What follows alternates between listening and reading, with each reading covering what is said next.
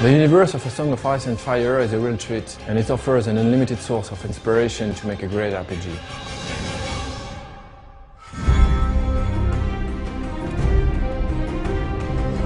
We started contacting George Martin seven years ago and tried to adapt his universe to create a role-playing game. When we started working on the game, the TV series was only a rumor.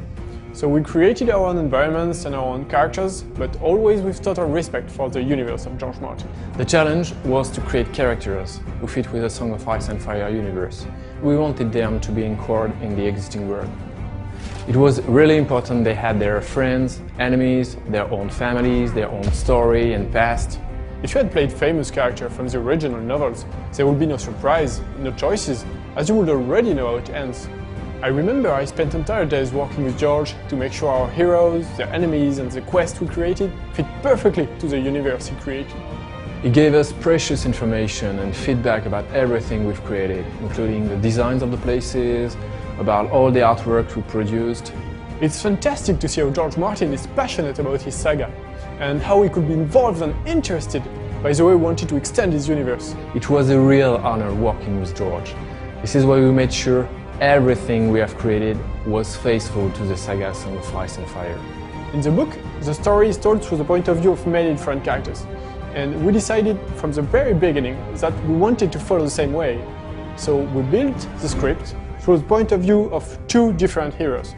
As there are two original heroes, the player will live a brand new plot and will have choices to make. It's really important for the player to feel he's the master of the destiny of his characters. It's more exciting than following the story of the famous character you know by heart. The choices of the player will have dramatic consequences on his adventure in the short term, but also in the long term.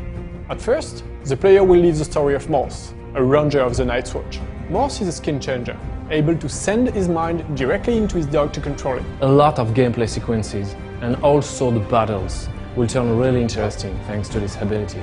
Mors is a grim guy, a dark type, he's not super friendly, he will often choose a brutal solution. The player will also embody Alester Sarwyck. Alester is a red priest. He is more diplomatic. He is the one who takes time to discuss and tries to find the solution to problems using his brain. Alester can also use fire, it's not like casting fireballs, but you will love flaming his weapons using oil or wildfire. He's more into tricks and dexterity battle style.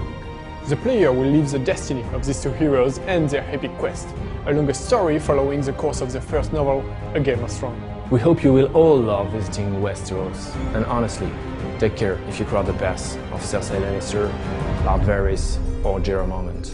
And be sure, choices you make will have consequences.